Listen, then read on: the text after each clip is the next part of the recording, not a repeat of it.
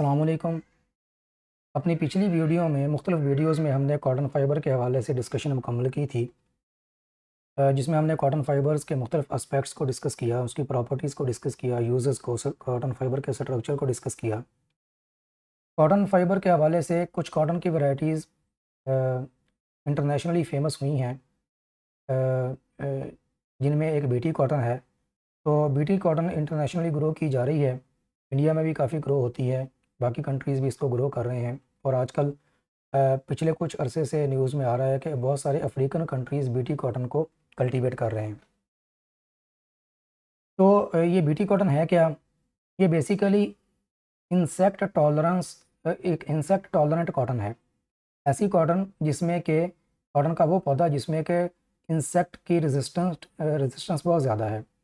तो insect tolerance of cotton can be increase by genetically modifying cotton तो cotton को basically genetically modify करके उसकी इंसेक्ट रेजिस्टेंस बढ़ा दी जाती है। तो ये जेनेटिकली कैसे मॉडिफाई किया जाता है? तो ये बीटी कॉटन टॉक्सिन जो कि एक फैमिली ऑफ़ टॉक्सिन्स है which is originally derive from soil bacteria जो सॉयल बैक्टीरिया से डिराइव किया जाए ये वाले जो टॉक्सिन्स हैं बीटी टॉक्सिन्स ये ओरिजिनली सॉयल बैक्टीरिया से डिराइव किए गए थे।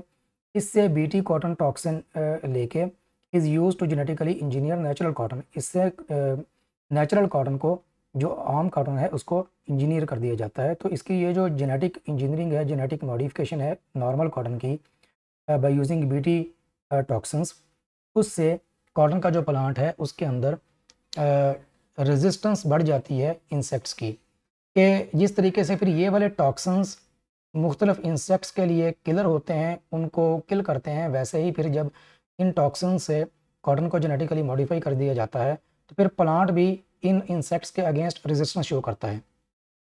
तो the plant thus produce its own BT toxins तो प्लांट जेनेटिक मॉडिफिकेशन के बाद प्लांट अपना बीटी टॉक्सिन जो है वो प्रोड्यूस करना शुरू कर देता है, ताकि बॉल वॉम जो है उसको डिस्ट्रॉय किया जाए जैसे काटन के प्लांट पे जो कीड़े हमला करते हैं, उनको किल किया जा सके। Bollworm is killed when it ingest the cotton plant जैसे ही ये हज़म करता है या कॉटन को खाता है कीड़ा तो उसमें चूँकि टॉक्सिन्स होते हैं तो वो कीड़ा बजाय इसके कि और पौधों को नुकसान पहुँचाए, वो किल हो जाता है। तो इससे फ़ायदा क्या हुआ है? इससे ये हुआ है कि किसान को पेस्टिसाइड यूज़ नहीं करने पड़ते। तो और दूसरा फ़ायदा ये है कि yield of BT cotton has been found to be twenty five to seventy five percent more than normal cotton variety तो ये नॉर्मल जो कॉटन है, उससे पच्चीस से पचास परसेंट तक इसकी जो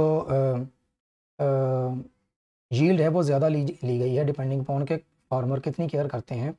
अपनी फ़सल की। तो ये बीटी कॉटन थी।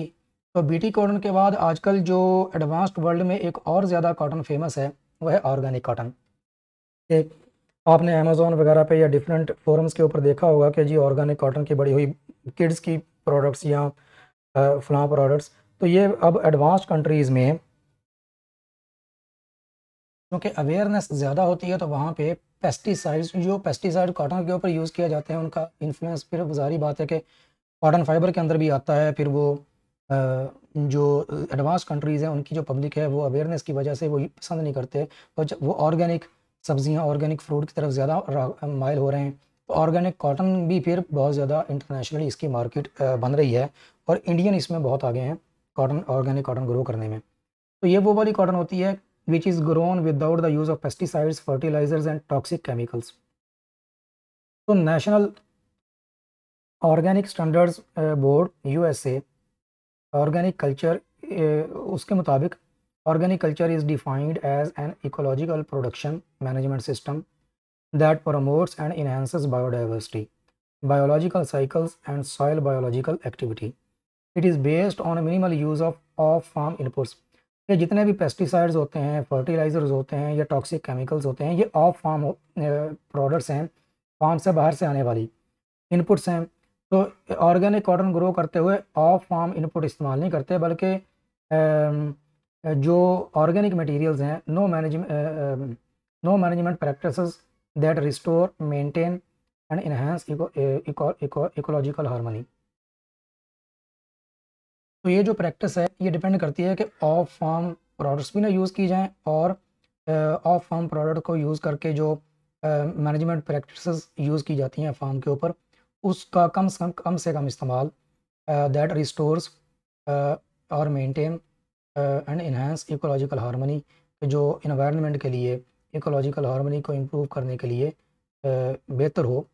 तो ये एक पूरी कंपेन है जो ऑर्गेनिक कॉटन के हवाले से नहीं बल्कि ऑर्गेनिक क्रॉप्स के हवाले से, बाकी क्रॉप्स के हवाले से और ऑर्गेनिक फ्रूट सब्ज़ियाँ वगैरह के हवाले से चली हुई है।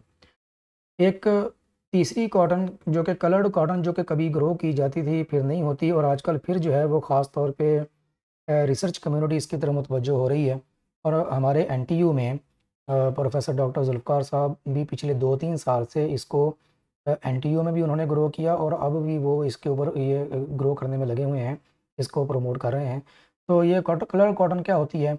जैसा कि हमें पता है कि हम कॉटन के फाइबर को लेके उससे धागा बनाते हैं, धागे से कपड़ा बनाते हैं, कपड़े को डाई करते हैं और डाई होने के बाद जब कपड़ा हम तक पहुँचता है तो उससे पहले बेशुमार केमिकल प्रोसेस में से गुजरता है, जिसमें डाइंग है, जिसमें ब्लीचिंग है, जिसमें स्कोरिंग है, जिसमें डी साइजिंग यानी कि डाई करने से पहले जब हमने डाई करना होता है तो डाई करने से पहले जो बेशुमार प्री प्रोसेस उसके ऊपर किए जाते हैं, वो सारे के सारे प्रोसेस जो है उनमें केमिकल्स इन्वॉल्व होते हैं। क्यों? क्योंकि हमने कपड़े को तैयार करना है डाई करने के लिए। तो इमेजिन करें कि अगर हमें कॉटन फाइबर ही कलर मिल जाए कलर्ड मिल जाए तो हमें कॉटन फाइबर के वो जो सारे के सारे हमने इधर से फाइबर लिया, उसका कपड़ा बनाया और उसको यूज़ करना शुरू कर दिया तो ये सारे के सारे बीज के प्रोसेस ख़त्म हो जाते हैं। तो naturally coloured cotton can be grown which is naturally pigmented तो इसके अंदर नेचुरल पिगमेंट होता है जो उसको कलर देता है। तो जो एन में ग्रो की है डॉक्टर जुल्फ़ार साहब ने वो ब्राउन कलर की थी, लेकिन ये ग्रीन ग्रे बीच कलर में भी आती है। तो बल्कि इस साल जो है वो कुछ मैंने भी हेल्प की है उनकी ये ब्राउन कॉटन जो है वो ग्रो करने में। तो ये जो नेचुरल कलर है is due to plants genetic properties तो ये जेनेटिक प्रॉपर्टीज़ की वजह से होता है। Yield of colour cotton is lower than normal cotton length is shorter लेकिन इसके कुछ डिसएडवांटेजेस हैं। इसकी यील्ड कम होती है कपास की। और शॉर्टर फाइबर होता है स्ट्रेंथ भी वीकर होती है। तो इस साल मेरे कुछ कज़न्स हैं जो कि खाने वाले वाली साइड पे कपास लगाते हैं अपनी ज़मीनों में। तो उनसे कह के मैंने एक एकड़ ये लगवाया है। लेकिन उनका भी यही कहना था कि ये कभी किसी ज़माने में होती थी और, लेकिन ये कि इसकी यील्ड कम होती है, इसकी लेंथ कम होती है, इसकी केयर ज़्यादा करनी पड़ती है। तो चूँकि मार्केट में एक्सेप्टेंस इसकी है नहीं तो जो स्पिनर है या बल्क पे इसके ऊपर बाइंग होती नहीं है तो इसलिए जो ग्रोअर है या फार्मर है वो ये फ़सल उगाता नहीं है। तो ये तो हमारा कॉटन के हवाले से टॉपिक इसके बाद हम जो डिफरेंट और सेलोजिक फाइबर्स हैं, उनको डिस्कस करेंगे।